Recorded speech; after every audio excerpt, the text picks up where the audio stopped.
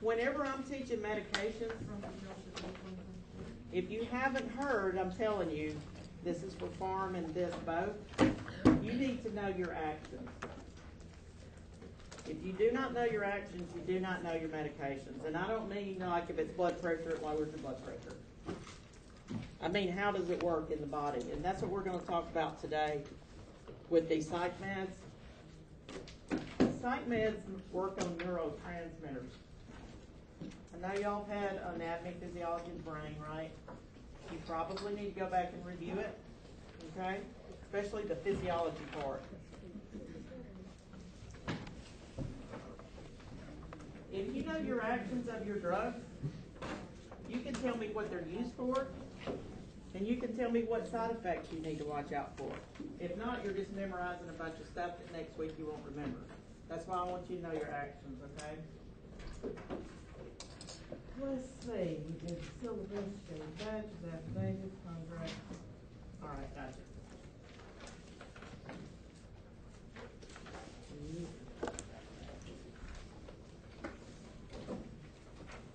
I'll be passing around the roll every week too. Do not sign anybody else's name, only your name.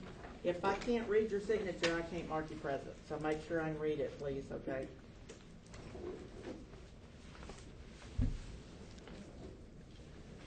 Okay. Quick review. There you go. Okay, we're gonna start at neurotransmitters. The other you should know, if you don't remember just go back and look it over, okay? Neurotransmitters are our main concern when we talk about all the brain stuff, because these are how our psychoactive medications work, okay?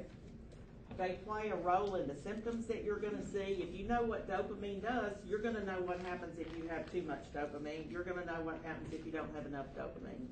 You're gonna know what the side effects of dopamine are. That's an example. Um, neurotransmitters, where are they released? Okay, presynapse, what happens to them? They bind to receptors. They can bind to receptors at the postsynapse. What else can happen to them? He could get blocked. Okay, they can be blocked at the presynapse, at the postsynapse. Different medications work different ways. Um, they can be broken down. What are they broken down by? One of the things. What about your MAO inhibitors? Monoamine oxidase ends in ASC, so we know it's an enzyme, right? It breaks down. What if it's not working? What if we have too much MAOI? Okay, depending on what chemical it's working on. Okay, so it, and it also can be reabsorbed back at that presynapse too. So it can be absorbed at the presynapse, postsynapse, it can be broken down. Mainly what we're gonna talk about is monoamine oxidase. Okay, so when you see monoamine oxidase inhibitor, what's that telling you? It's in. It's blocking It's the- inhibiting the breakdown, so what's gonna happen to that chemical? It's gonna build up. It's gonna build up at the synapse, and that's where it's active at, okay? So that's how one of them works. Okay, and it, uh, they also relay your messages, okay? We have drugs that can decrease the reuptake at the presynapse, decrease the uptake at the postsynapse. SSRI, what is that? Serotonin. So what does that tell you it's working on? It's re, it's inhibiting the reuptake, so what happens at the synapse? It's building Building up. Okay, and serotonin, if we know what serotonin does, we know the effect that we're gonna get when that happens. Serotonin is a drug that makes you happy, kinda calms you down a little bit. So that's one of our antidepressants, so that's one of the ways they work. We have drugs that can decrease the metabolism, or MAO inhibitors. They're not being metabolized by that enzyme, so they break up. I mean, the level goes up. We have drugs that it can increase the relapse, the release at the presynapse. We got more coming out, so what happens to that level at the synapse? Goes up. Okay, and then we have a special class of drugs that just stabilize, okay? They stabilize those chemicals. So that's some of the different ways that they can work. Everybody clear on all that? All right. Okay, now, that's not confusing enough, we have drugs that are excitatory and drugs that are inhibitory. Our excitatory chemicals are dopamine. Dopamine is responsible for complex movements, for your motivation to get out of bed and go to work, for cognition. What is cognition? Being able to think. being able to think, higher thinking, okay? And also it helps regulate the emotions, your emotions. People with schizophrenia have too much dopamine. So what are you gonna see? If you know what dopamine does, what are you gonna see with schizophrenia? Complex movements, they have akathisia, where they can't be still, they can't move, move, move, move, move, move, move, move, move all the time. Cognition, They're gonna can't think clearly. Okay, so you can kind of start seeing their emotion, they're gonna be labile, y'all know what labile means? Just kind of all over the place, up, down, that's what labile means. Also norepinephrine is an excitatory. That helps you pay attention, helps you learn things. Regulates your sleep cycles, wakefulness. Another one is epinephrine, that's the one that's responsible for your fight or flight.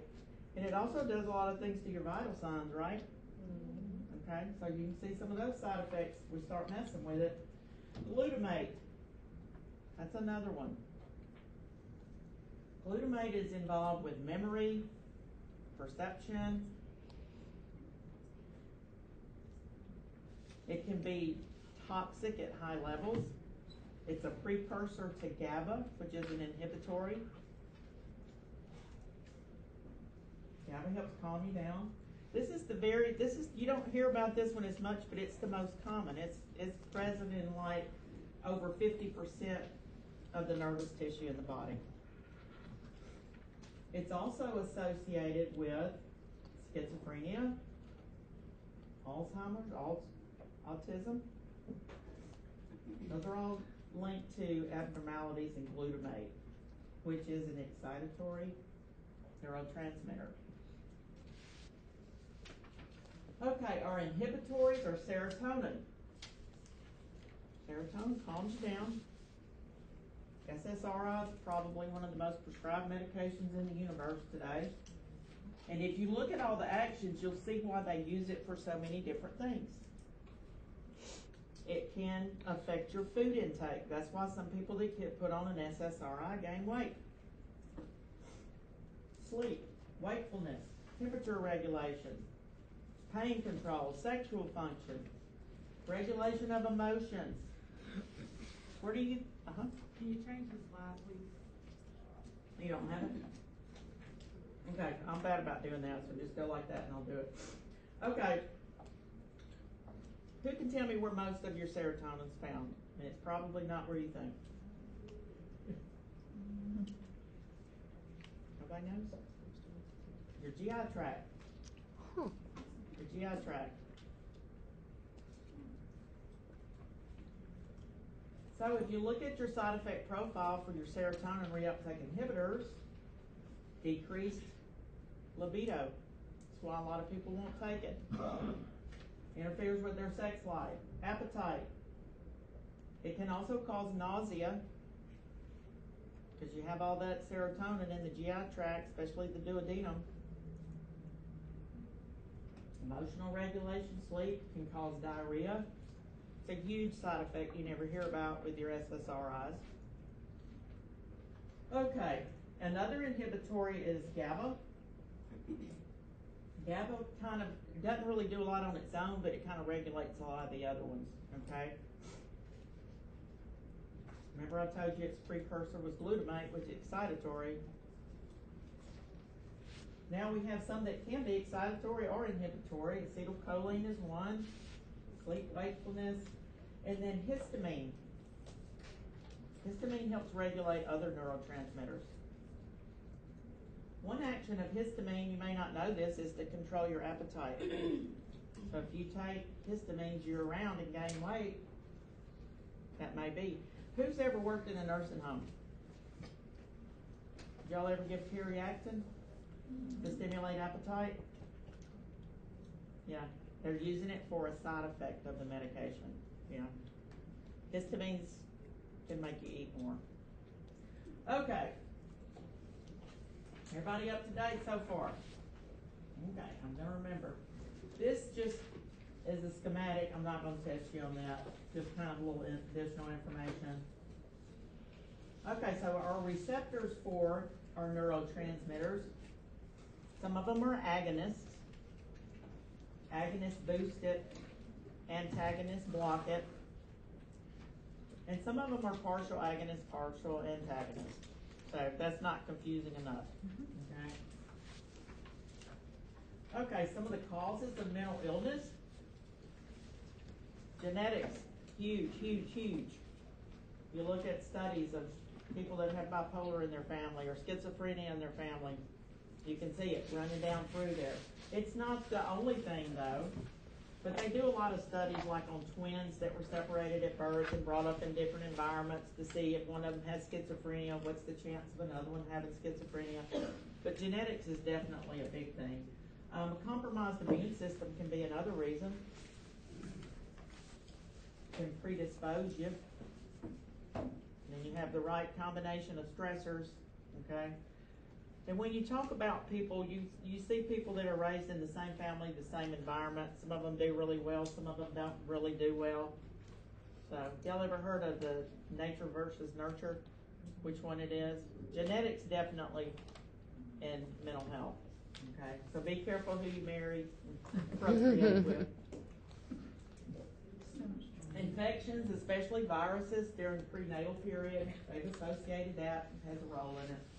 So we don't really know hundred percent, but we do know things that can put people at higher risk. Now, somebody comes in and there's acutely hallucinating, having delusions, seeing things, hearing things that aren't there, cause there's like seven or eight different types of hallucinations. We have to rule out some things first, okay? And these are just some of the tests that we use to rule those things out, okay? Acute onset, new onset, we rule out other things. Could be a brain tumor, could be a virus, could be other things, could be dehydration. Especially older people come in hallucinating in the emergency room. What's the number one cause? UTI, UTI. yeah, okay. Delirium, all right. So these are just some of the tests we use for that, and when you're doing your care plans and you see people brought into Brentwood or LSU or whatever, you need to go back and look at those things, see if they ruled out some other things. Okay, psychopharmacology. These are some of the definitions you need to understand to understand these drugs. Psychotropic drugs, that's just a catch-all for all of these different drugs. It includes antipsychotics, first generation, second generation, third generation, antidepressants, SSRIs, TCAs, SNRIs, all of those are types of antidepressants. Mood stabilizers, such as lithium, which is a really old, old drug, but it's still used a lot today. Anxiolytics, you have your benzos and your non-benzos. And then we're gonna look at stimulants too. So psychotropic drugs, when I say that, I could be talking about any of those drugs, right? Alright, efficacy, that is the maximum therapeutic effect that you can get, no matter how high you go up on that dose. Now, when you start learning some of the side effects of some of these drugs, they're fatal side effects that you'll see.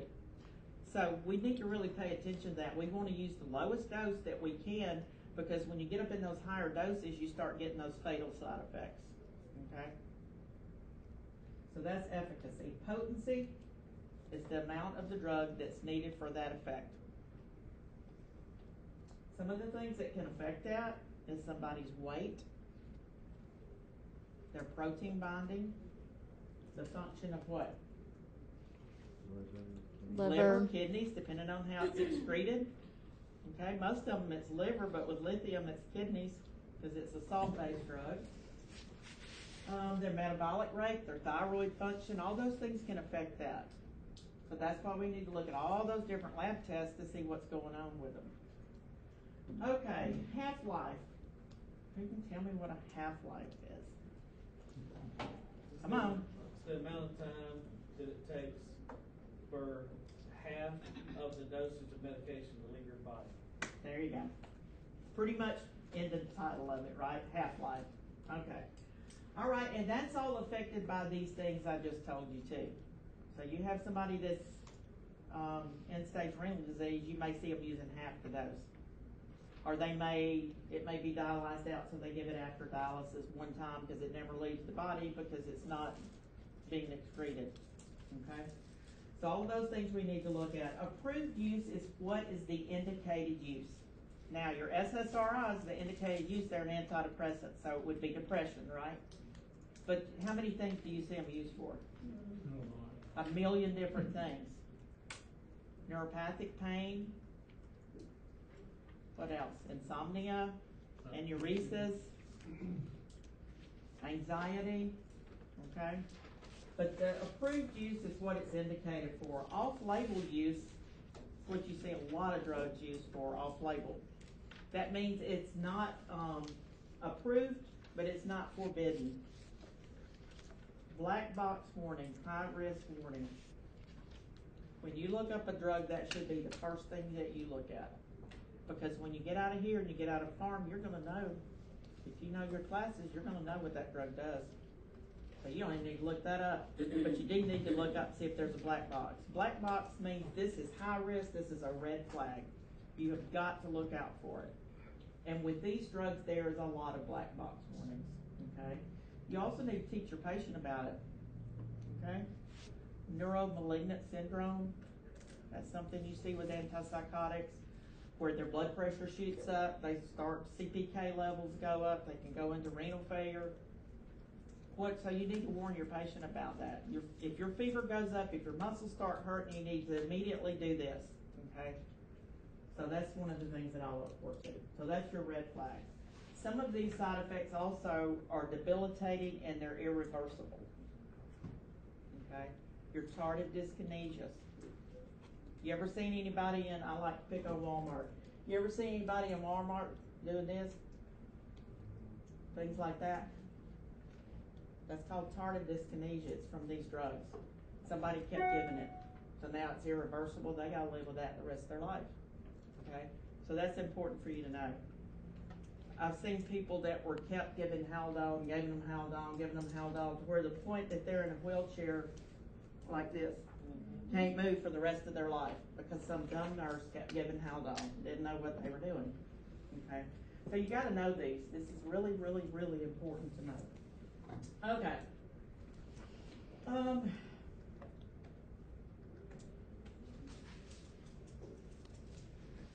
Also, some of the principles. We wanna look at the optimal effect on the target symptom. If we're giving it for hallucinations, are we giving it for delusions? Are we giving it for panic attacks? For depressions?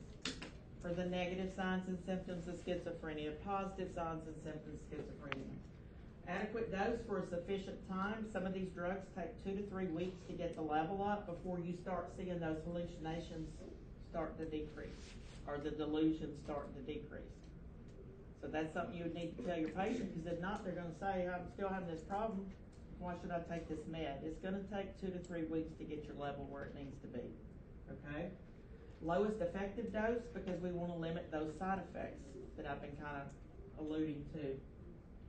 Lower doses for older people. You ever heard with geriatrics, the golden rule, start low, go slow, when you're adjusting meds, okay? Because of all those reasons. Their kidneys aren't working as well, their liver's not working as well, they don't have as much muscle mass, so there's less protein binding. All of those different reasons, their metabolism slowed down. Also, some of these drugs have to be tapered off. You can't just stop them cold turkey. Rebound symptoms. What does that mean? Uh, that's when you stop taking it, and it can give you some symptoms. It comes back worse. Rebound is where those original ones come back. Withdrawal, you can have a whole new set of signs and symptoms, okay? Say, for instance, somebody was on a benzo Ativan for three years and somebody decided to take them off of it, stopped it cold turkey. Now their panic attacks are back, but now they're also having seizures, okay? They didn't have those before, but now they are. So you have to be real careful with a lot of these psych meds for that reason. Um, my daughter is an attorney for Bossier Parish, um, Sheriff's Department. She had this case she was asking me about. This young guy that was put in jail up there, and he had been on Xanax for years and years and years, not prescribed, but he had still been on them, so he's still gonna have this. Doesn't matter if it was legal or not. The family kept calling and saying, he's been on Xanax, y'all need to be careful, he's been on Xanax, you need to be careful. Well, sure enough, three or four days into his jail, fell and hit his head, had subdural hematoma and died. So that's a good case, that's a good example of that. You have to taper these drugs down. He never had seizures before, but now he had one, had a head injury and killed himself. Okay. Um, follow-up care, we have to have follow-up care because we have to look at compliance. The number one reason psych patients are readmitted to the psych unit over and over and over and over and over is non-compliance of medications. And th- that can be for a lot of different reasons. You have to find out why they quit taking it. Did they not have the money? They didn't have a way to the drugstore? Did their prescription run out? Did they not like the side effects? Okay, so what is it? Why did they quit taking it? And then we can address it. Also, you need a simple regimen. These people's cognition is not well. They may be hallucinating, having delusions. They're paranoid. They think you're trying to kill them because you're giving them this med. So how well do you think they're gonna be compliant on that med? Probably not at all, okay? So we do have different forms that we can give it in. We can give what's called depot injections of some of these antipsychotics that can last anywhere from a week to a month. Okay, and that can be court ordered. If they, if they have a legal proceeding or a problem. It Can be a condition of their discharge. If you don't come back in every month at this time and get this, we're gonna arrest you and put you back in jail. And probably end up back in the psych unit. Cause there's a lot of people that are, um, in the legal system. I would say probably half of them have psych problems or some type of personality disorder. Okay, so those depot injections are like deep IM, they release gradually over a month. And that helps with compliance tremendously, as you can see, right? They don't have choice. Okay, so our antipsychotic drugs. Antipsychotic drugs block your dopamine receptors, D1 through D5. D2 through D5 are the ones that are associated with mental illness. Now go back and think about all the things dopamine does. Okay? The oldest ones, before the 50s, when you go back and read chapter 1, which I hope that you do because it's kind of going to help you give you a context to understand how mental health nursing came about. Before the 50s, you were put in a psych unit and probably pretty much stayed there forever because there wasn't a whole lot they could do. There weren't any meds or anything. Well, in the 50s, they came up with what's called antipsychotic meds that work on these dopamine receptors. So at that time, they decided we're going to deinstitutionalize people. That's we're going to put them back into society because now we have these meds to control these really what I call what are called the positive side, the positive signs and symptoms of schizophrenia. That's the ones you can really see, like delusions, hallucinations, the strange behaviors, the all the other things that when you think of a psych patient you think of. Okay? So in the 50s these came out. These were called typicals or conventionals or first generation antipsychotics. You may see them referred to as any of those names. These were the first ones that came out. Thorazine, Haldol,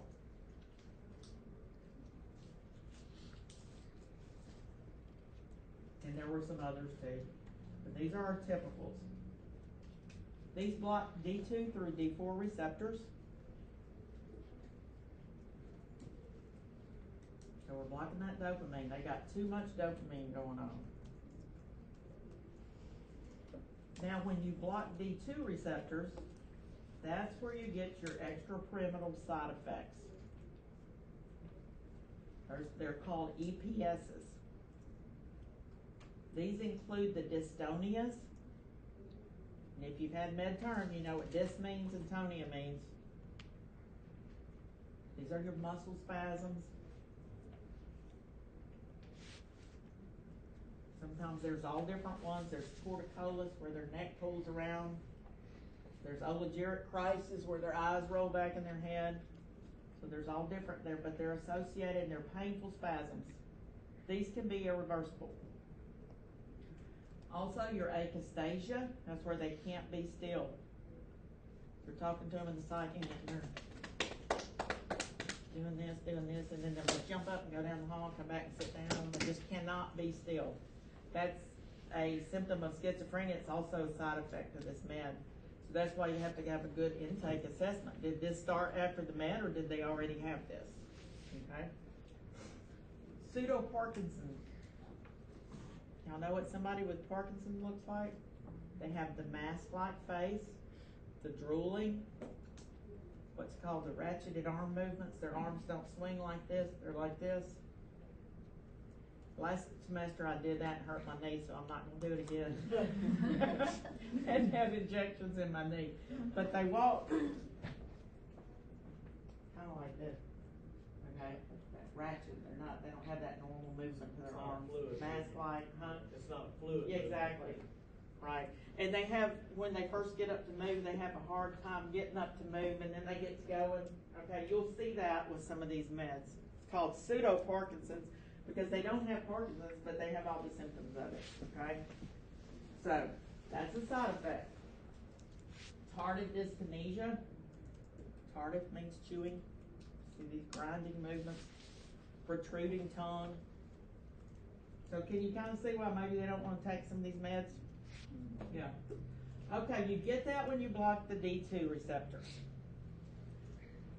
Okay, so later they came out, a few years later, with what they call atypicals, second generation, non-conventional, that's all the same thing.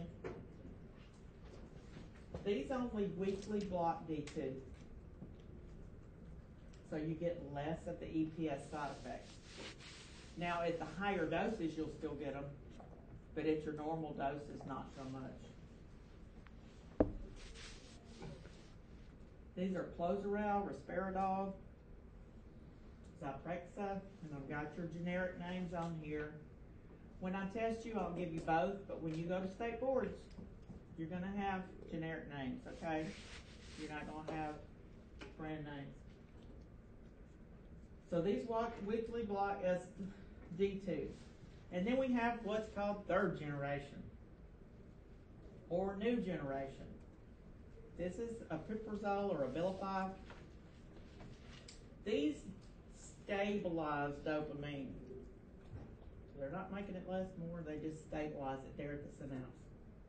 Instead of blocking those receptors, they're stabilizing the output. So those are antipsychotics. So it affects how much is put into, this- how much is released? Well, if it's, the way that I understand it is, you know, with schizophrenia, they're putting out too much, so it just that stabilizes the output. Okay, okay, Okay, okay. yeah, Abilify is the main one in there. Okay, so these antipsychotics are used for psychotic symptoms. When we talk about schizophrenia, they have what's called positive side effects, negative side effects. The way that I remember it, positive is a plus sign, right? That's something extra you should, you're seeing you shouldn't see. Hallucinations. Hallucinations can be visual, auditory, gustatory, tactile, synesthetic, proprioceptive, where they feel like they're separated from their body. They feel like they can feel their bones making red blood cells. The most common type, auditory. That's your most common type. People hearing things that nobody else hears. Those are a positive, a type of positive. Delusions is another one. A delusion is a fixed false belief. I believe that I'm the king of the universe and you are all my peasants. Okay, you would not believe some of the delusions that I've heard through the years. So they don't necessarily see that, that's, The delusion, but that's just what they think. right, Okay. and they believe that. Yeah. I had one tell me one time that he was King David. All the women in the world were for him. The sun rose in his navel, and I'm not gonna tell you where it's at. And he truly believed that. Or they believe that they have a cattle ranch in Montana. Or they believe that the FBI is out to get them. Or they believe just anything. It can be anything. But they truly believe that. And it's fixed and it doesn't go away. That's a delusion.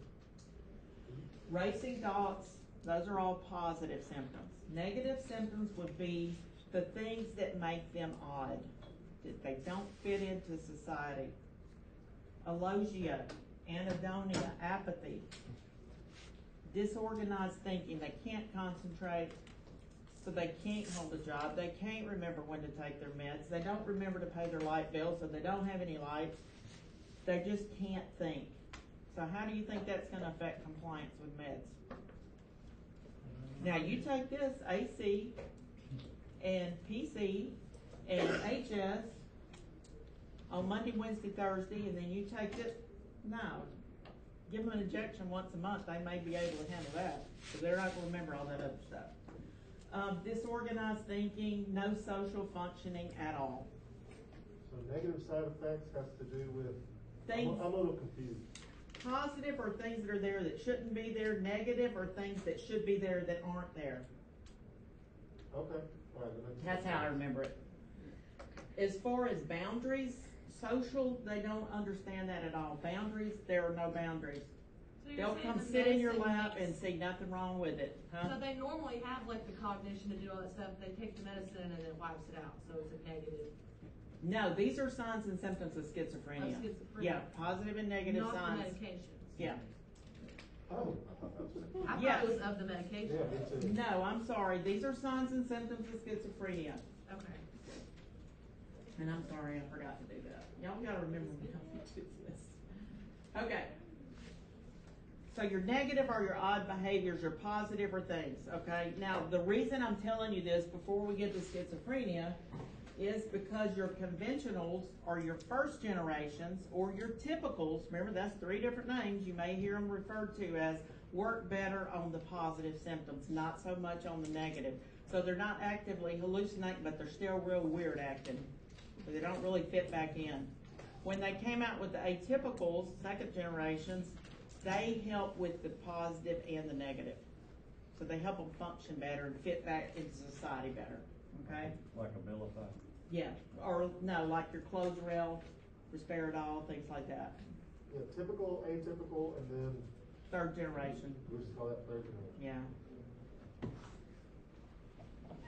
I know it's confusing, I know.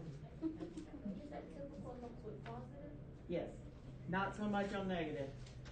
As they made them better, now they're addressing positive and negative. Now, some people don't respond to the second generation, or they can't take them because of the side effect profile. Clozaril is the second generation, and the problem with it is it knocks out your white blood cell count.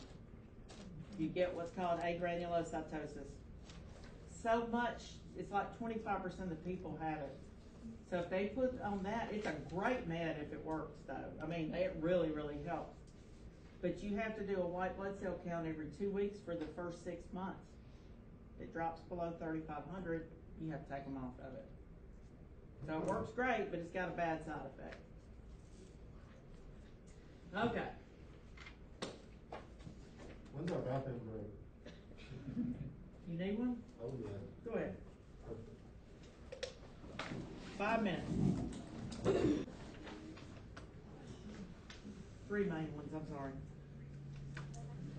And I remember at DPA, dystonia, pseudoparkinson's, akathisia.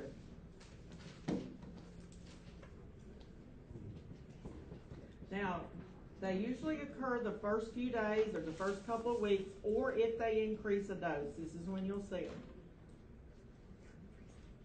Torticollis is the twisted neck.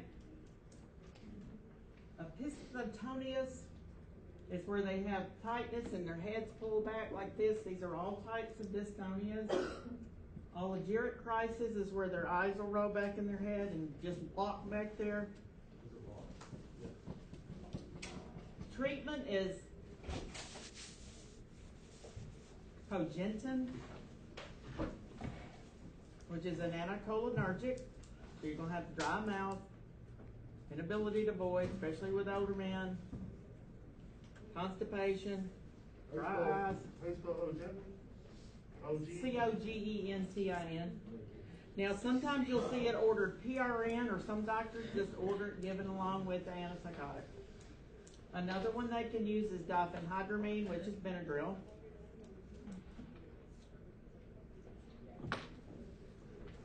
And you can see these dystonias with other drugs too. Phenergan will cause it.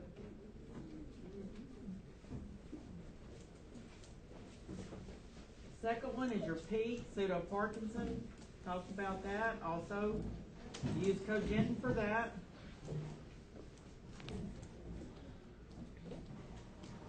Akathisia, restlessness, anxiety, agitation. For that, you may see a beta blocker used, anticholinergic or a benzodiazepine. But there's a lot of teaching goes along with this, okay? Another side effect of your antipsychotics is NMS, neuroleptic malignant syndrome. Ten to twenty percent of the time it is fatal, it'll kill them. This usually occurs the first few weeks, uh-huh, No, the, or with an increased dose. That's why I give y'all these PowerPoints, so you have them. If you will remember autonomic nervous system instability, that tells you the signs and symptoms of NMS. What happens is their temp shoots up, blood pressure becomes unstable, can be high or low. They get what's called lead pipe rigidity, where you cannot bend their joints. This is very similar to serotonin syndrome, except the blood pressure is up or down. With serotonin, it bottoms out, and you don't get lead pipe rigidity with your serotonin syndrome. are are they, is this reversible? It can be, but ten to twenty percent of the time it's fatal. CPK shoots up, CPK gets high enough, you know it can damage the kidneys. Confusion, to, all the way from confusion to stupor to coma. You treat it symptomatically. If their temp's up, you put them on a cooling blanket. Treat their blood pressure. It's hard to treat though, because sometimes it's high, sometimes it's low. You treat the high, and then you get the low, and then you're constantly trying to stabilize that blood pressure. So it just loses all. Autonomic all- is, Autonomic control. yeah. Are they tachycardic too? Can be. The blood pressure drops. Yeah. You know, blood pressure drops, heart rate goes up, opposite happens. Yeah. So NMS is bad. That's why we want to get the lowest dose we can, because with your higher doses, you get these side effects worse. Tardive dyskinesia can be irreversible. That's why you see so many people going around with all these grinding movements. This occurs up to thirty percent of the time. Higher the dose, the higher the risk of it. Can be permanent, can be irreversible. Treatment for this is decrease or DC that med. This can occur after being on a med for years. Just all of a sudden it pops up. A lot of the time it is irreversible. And then you get your anticholinergic side effects from your antipsychotics, dry mouth, constipation, urinary hesitancy, retention, can't see, can't pee, can't spit, can't. This is higher with elderly people. Treat it symptomatically. Fiber, water, exercise, decrease the dose. You couldn't give them a cholinergic drug to increase the secretion? You could. This usually occurs the first few days. and can last throughout the treatment. If it's bad enough, they may have to DC the med. If it's livable and we can cope with it, you know, they may leave them on it. Okay, other side effects, prolactin level can go up. You can have gynecomastia in males, breast enlargement, weight gain, especially with your se- second generations. Geodon doesn't seem to do it as bad. Prolonged QT interval. That's on your EKG. So if somebody has a history of a cabbage or DMI, they may not wanna put them on some of these meds. They're really high risk and that gives them a double risk. Agranulocytosis, I told you about that with clozapine or clozaril. So if they're on that med, you need to tell them, if you start developing a sore throat, fever, you need to immediately go to the emergency room, talk to your doctor. So teaching, teaching, teaching, teaching with these. Okay, client teaching. What do they miss a dose? What lab do they need to monitor? What symptoms do they need to watch for? What to do if it occurs? You never teach somebody to watch for something if you're not gonna tell them what to do if it occurs. Do they call their doctor? Do they tell them at the next visit? Do they immediately go to the emergency room? Some of these are emergency room visits, okay? Okay, antidepressants. Major depressive disorder, anxiety disorders. We use them with bipolar for the depressed phase of bipolar. Psychotic depression. People can get so depressed they can become psychotic and start hallucinating. Okay? Bipolar. Bipolar is where you have the real high moods, the real low moods, and there's several different types. There's bipolar one, two.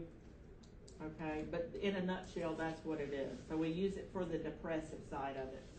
Now you have to be careful with that because if you use SSRIs for depressive side of uh, bipolar, you can cause what's called rapid cycling, where they cycle two or three times in one day. High low, high low, high low, instead of several weeks of this and several weeks of that. Okay. Other uses, that'd be our off-label uses, right? Bulimia, enuresis, OCD, post-traumatic stress, weight loss, smoking cessation, chronic pain, neuropathy. You see them used for all different kind of things. Okay. There's four major groups. Our tricyclics, our SSRIs, which are our selective serotonin reuptake inhibitors. Means they selectively work on serotonin. Our SNRIs, which work on serotonin and norepinephrine.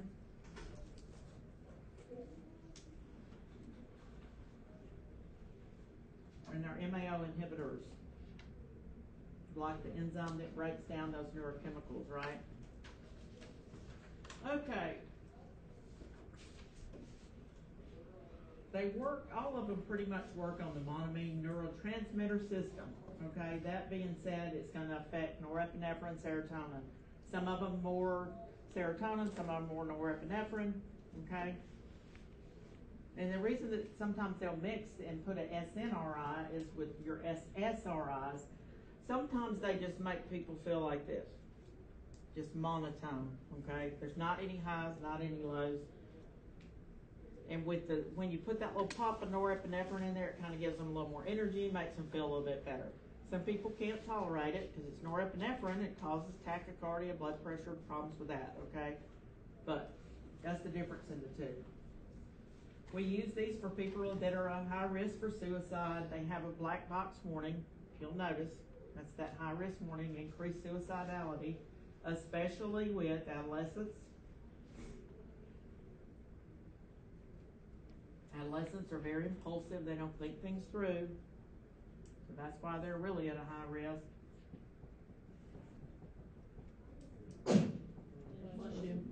And some of the studies I've read said they really don't make you more suicidal. What they do is they get you out of that deep dark hole where you have the energy to think about killing yourself so that you can make a plan and get through with it. You got the energy to do it now. So two weeks after being on it's when they're at highest risk. When you really gotta watch They'll actually get out of the bed and put the gun in trigger. Right. Before then, they don't have the energy or they can't even think well enough to do it. Okay, so our SSRIs block serotonin only and make it more available at those synapses. Side effects can be anxiety, agitation, akathisia, nausea, vomiting, because remember I told you serotonin's found in the GI system, so we start messing with that. Weight gain. Takes several weeks to get the level up. Diarrhea is a big side effect. You don't hear that much about it, I don't know why. But a lot of your serotonin's in the GI tract, so some people can't tolerate it for that reason. Okay, your TCAs. TCA stands for tricyclic. That means it has three actions. It blocks serotonin, norepinephrine, and dopamine at the presynaptic nerve. So it's blocking it from being excreted or released or however you want to say it.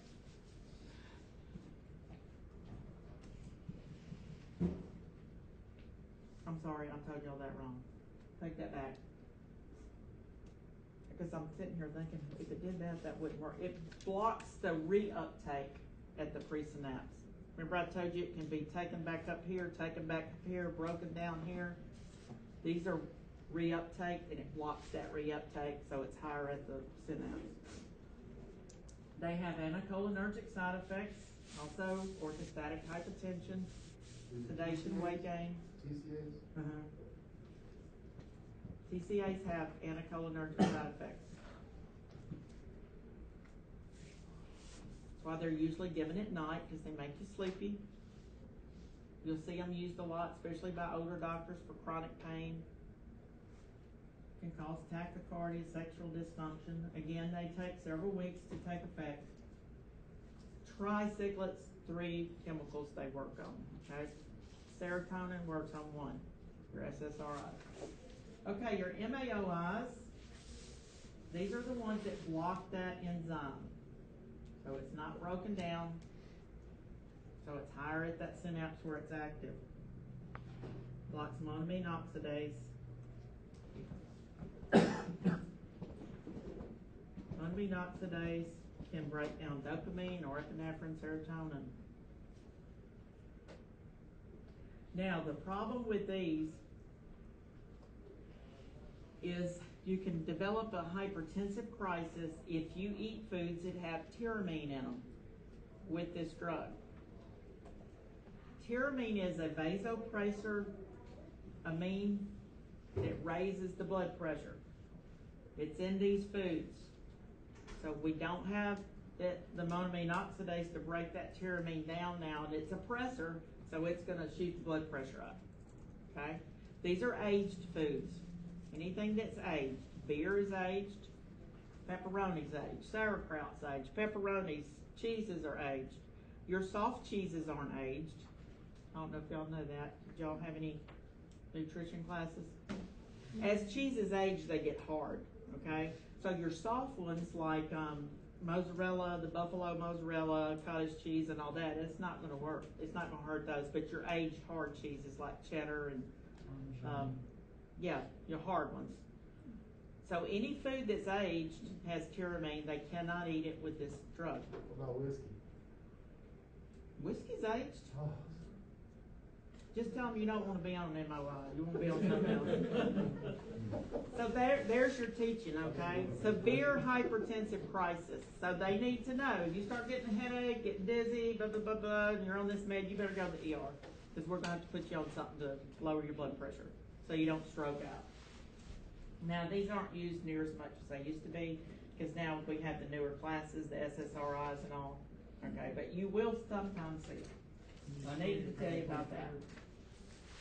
Okay, um, some of your other things can cause, some of the, some of your antihyper, antidepressants, not antihypertensive, uh, sedation, headache, loss of appetite, nausea, because of where the serotonin's at. It's all through the GI tract, okay? Also priapism. It's not a real common one, but it can occur. That's a prolonged erection without sexual stimulation, okay? So they need to know if that happens, what they need to do. Another um, antidepressant um, thing that it can cause is called serotonin syndrome. Serotonin syndrome can occur anytime if you have an MAOI, do not give it with anything. That's just the rule of thumb, okay? Because it's going to react with everything. To the point to where if you're on an MAO, you have to have a two week washout period to get it out of your system before you can be put on any other med, okay? Now, serotonin syndrome can occur if you use an SSRI and an MAOI together. Serotonin syndrome, you have an increased temp, blood pressure bottoms out. Blood pressure bottoms out, what's gonna happen to the heart rate? Go up. Okay, so you're gonna have tachycardia, tremor, diaphoresis, dilated pupils. You don't get the lead pipe rigidity, okay? That's with NMS. If you use more than one serotonergic drug together, you could get serotonin crisis. Imitrex is a serotonergic drug. Take it with an SSRI, this can occur. Okay, so you need to know what your serotonergic drugs are. Those are drugs that affect serotonin. Okay. Oh, let's see. With serotonin syndrome, you get what's called ANS activation. The other one is ANS instability. So they're really similar, okay? Agitation, sweating, fever, tachycardia, unstable hypotension. So, I mean, it can be 90 one minute, 40 the next. Real unstable. Rigidity, hyperreflexia. That means, you know, when y'all learned um, physical assessment, your normal reflexes are plus three, they're plus six with this, okay? So instead of just getting this in your leg, it might kick you across the room, okay? Or your brachial, they're gonna be like this instead of just this twitch that you're looking for when you do the brachial. Okay. So you're gonna have lower extremity rigidity, hyperreflexia, bottomed out blood pressure, okay? That is serotonin syndrome.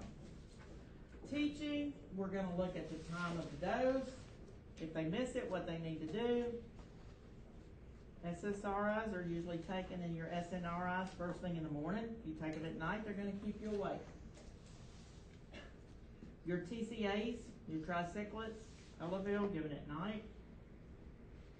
Is it gonna have anticholinergic side effects, so you may wanna have them void before they take that med. They may have to increase fiber, increase exercise, increase fluid, dry mouth,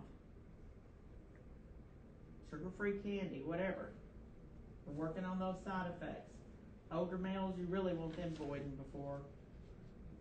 Okay, um, if they miss their SSRI, they can take it for like up to eight hours afterwards. TCA, two to three hours. After that, it's gonna make them sleepy the next day. Also need to teach them about dietary restrictions. What are aged foods? Okay, mood stabilizers. Lithium is used. And we also use anticonvulsants for that. Certain anticonvulsants.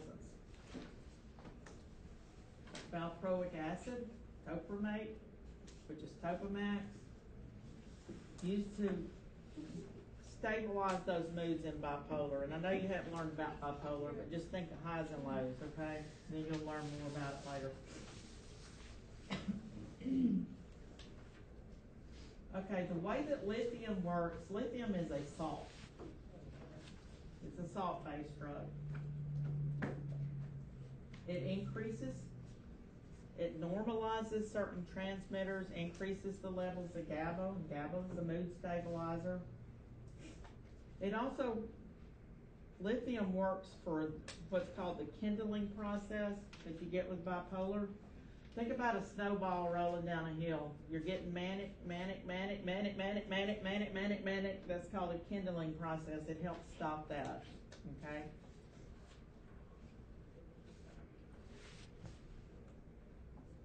It is a salt-based drug.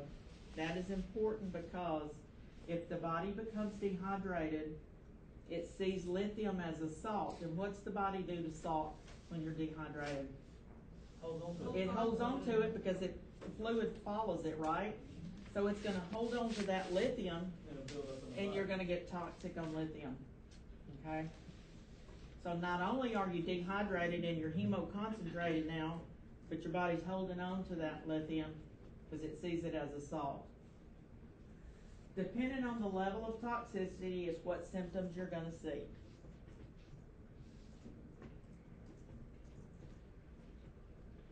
Nausea, diarrhea, anorexia, fine hand tremor. They're gonna become very thirsty. Metallic taste, acne, that's long-term side effects of lithium. Toxicity, they can have severe diarrhea, which is gonna make them even more hemoconcentrated. Vomiting, drowsiness, muscle weakness, loss of coordination.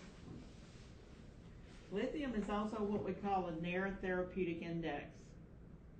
That means there's a real fine line between being therapeutic and toxic. Okay, so you gotta keep it right at that level.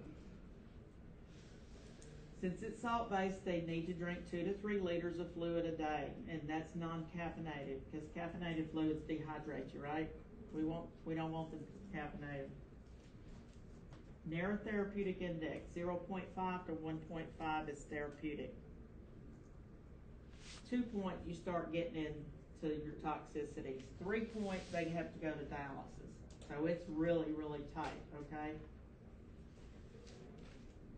And then you give it to somebody that's not thinking right, that's manic, okay?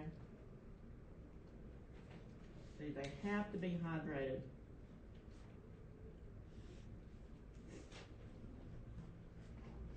Other class that's used for, um, that you may see it in used in the place of or in addition to as an adjunct to lithium are your anticonvulsants.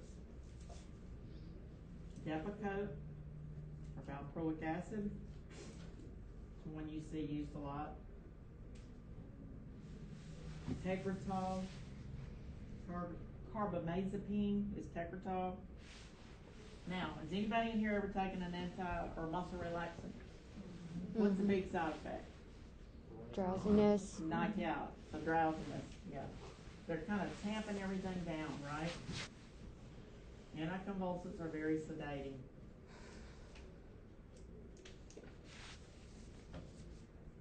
Okay. Carbamazepine is Tegretol, rash, orthostatic hypertension. Valproic acid is Depakote. Weight gain, alopecia, hand trimmer, and then topramate or topamax, dizziness, sedation, weight loss.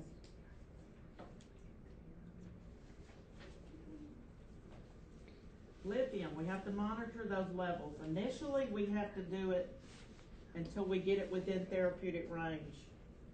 Once it's stabilized, they have to have that fluid and they have to have a stable salt intake.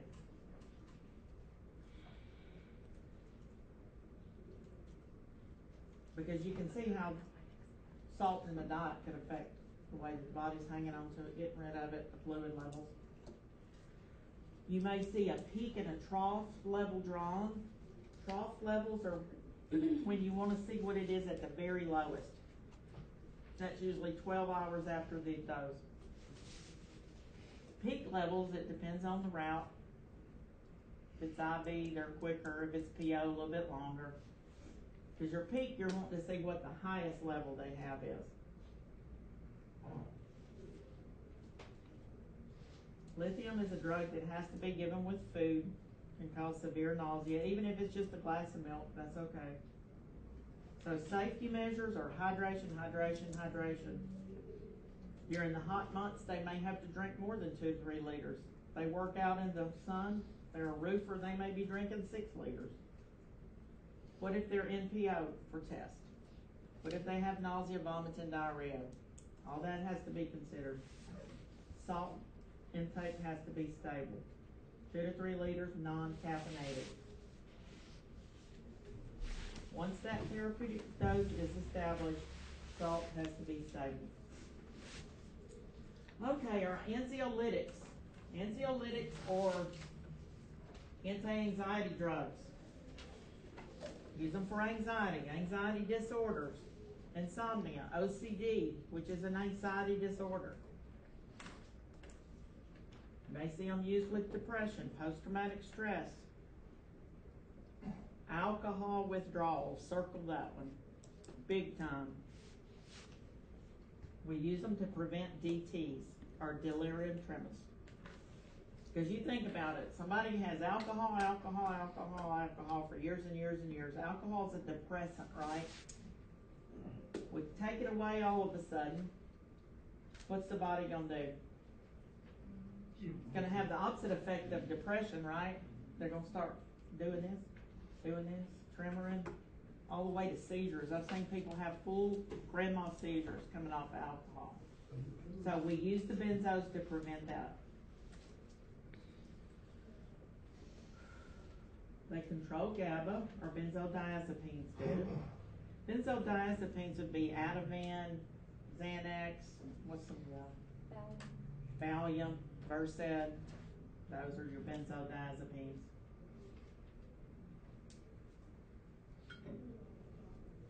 Those are the ones we use for alcohol withdrawal. Or sometimes other things too. Okay, um, there's also a non-benzo anti-anxiety drug, Buspar.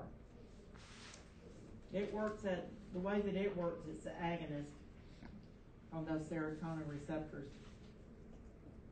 An agonist means it's agging on that serotonin, so it's making that serotonin more active, okay?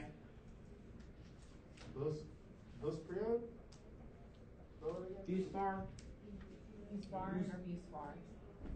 Oh, alright. U S P I R O N E is the generic name, Oh. but it's Buspar is the trade name, yeah. That's the non-benzo, those others are benzos. Okay, benzodiazepines can cause, here's some examples of them. Um, physical dependence, big time. Do I not have that on? So flat that day. Okay. Physical and psychological dependence. This is one you can't withdraw cold turkey. It has to be tapered off. They cause CNS depression. If you take them with alcohol, it increases the effect of alcohol by five times. So instead of having a shot of whiskey, you just had five shots of whiskey. Okay? So they can't be used together. They're not used with acute alcohol intoxication. They're used for withdrawal of alcohol. Okay? Now I know a lot of people that drink and take them. But if they quit drinking and quit taking that, they're probably gonna have seizures if they don't taper off of it. Cause both of those are tamping everything down. Um, they also cause amnesia. That's why they give them for certain procedures, so you don't remember it. Like colonoscopes and EGDs and things. Yeah, that's the problem. Some people have test anxiety and take it and then they study and guess what? They don't remember what they studied because it has an amnesic effect. You can develop a tolerance. That means you need more and more and more to get that same effect and a dependence, psychological and physical. They have to be tapered.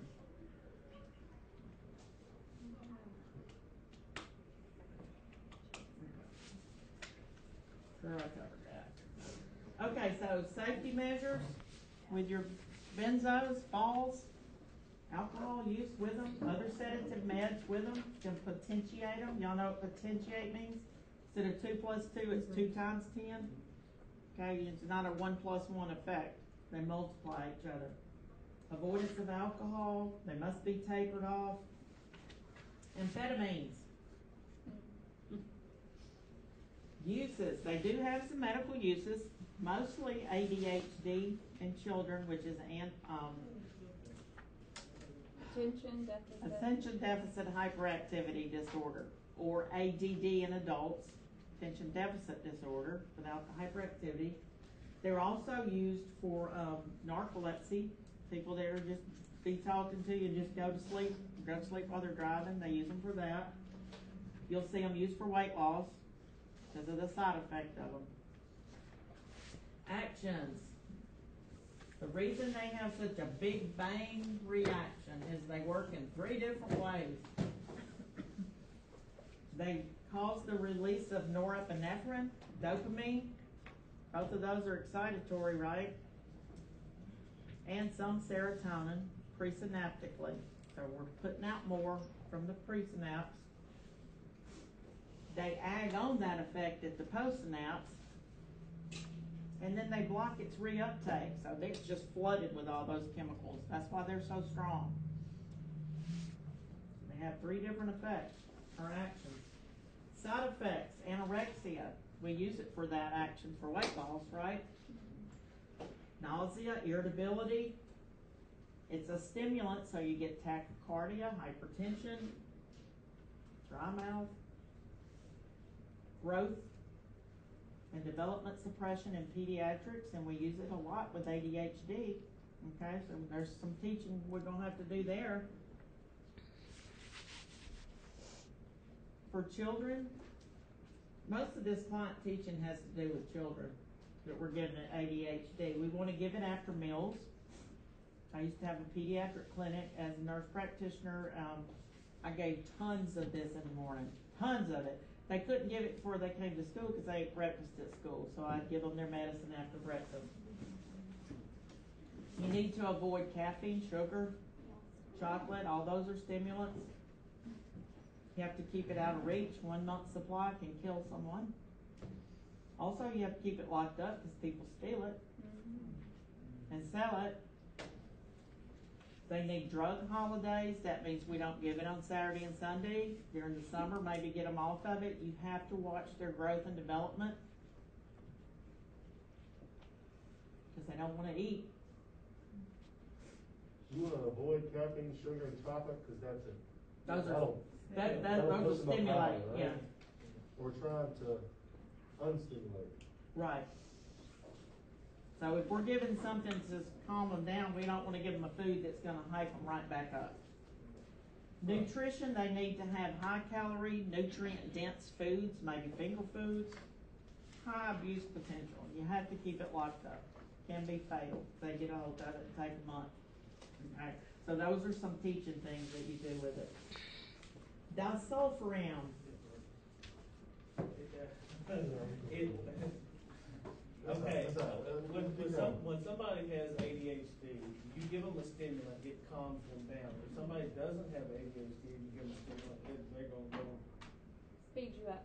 yeah, That makes, Yeah. that makes sense. so, yeah.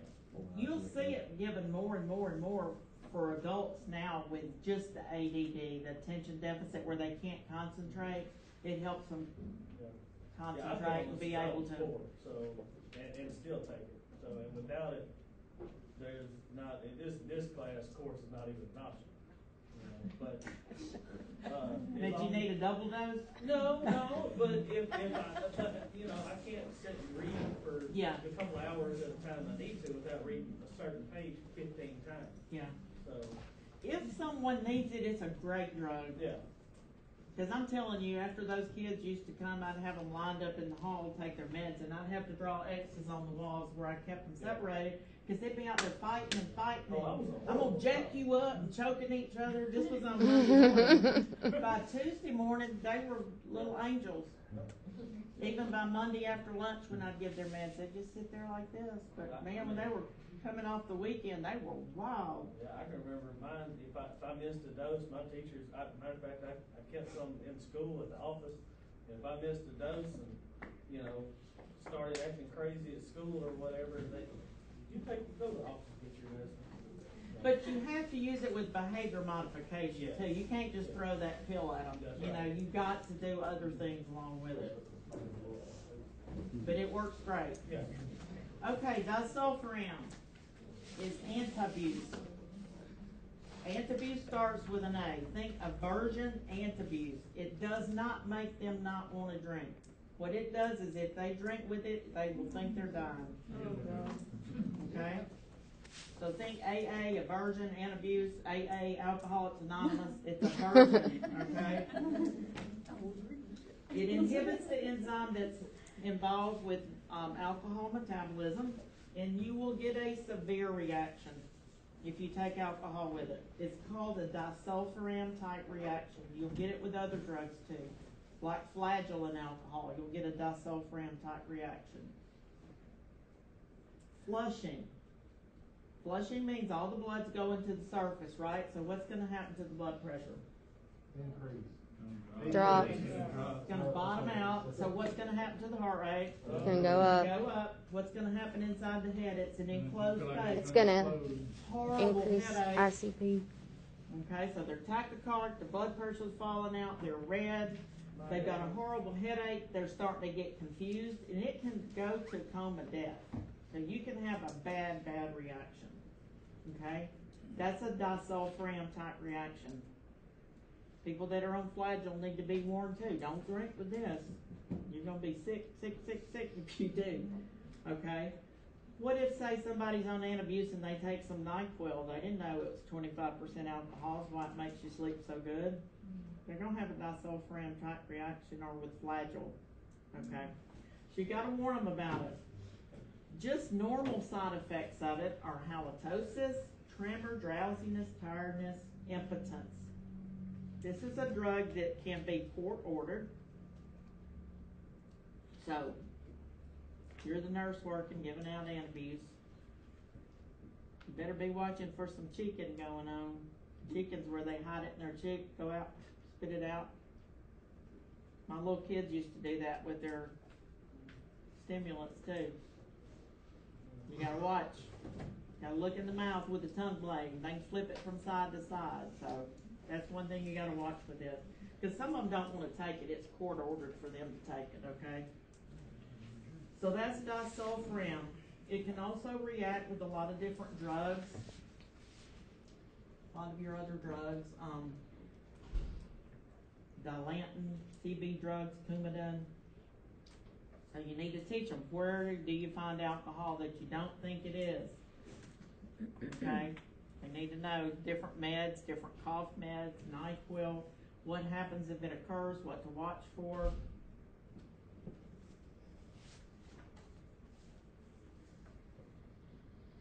Okay, some of the cultural things I'm just gonna mention real quick. Some of your different cultures have different reactions to some of these meds, okay? Asian people will get toxic on them faster. And they have a slower metabolism of the drugs. Elderly people, you've gotta watch. Really anybody, but especially elderly people, polypharmacy. They have, they'll come into the emergency room, the bag of meds is big. This doctor's giving them this and this and this and this, and it's all reacting with each other, so you gotta watch for that. Also because, you know, all the things we talked about, why they don't metabolize as fast. So different cultures metabolize meds differently, okay? Just like your blood pressure meds, you know, African Americans don't do well on the prils and they do better on these and these other things as monotherapy. It's the same with these antipsychotics and your, um, anxiolytics and all of those. So we're gonna use lower doses for Asians and African Americans of lithium. Lower doses of our antidepressants for Hispanics. Another thing, this is something that y'all need to remember because on ATI, students don't seem to know this. When you're taking a medication history, you have to look at all the meds, over-the-counter meds.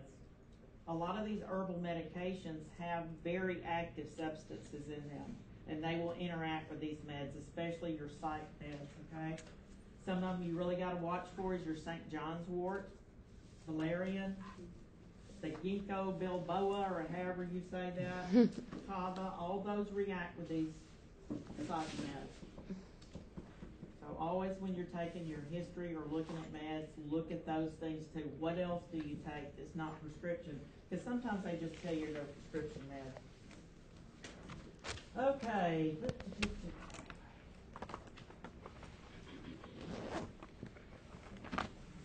Oh, we got five minutes, okay. Okay.